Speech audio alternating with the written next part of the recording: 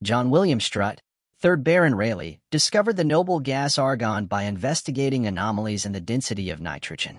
His collaborative experiments with chemist Sir William Ramsay led to the isolation of argon, filling a gap in the periodic table and challenging the existing understanding of gases. This discovery earned him the Nobel Prize in Physics in 1904.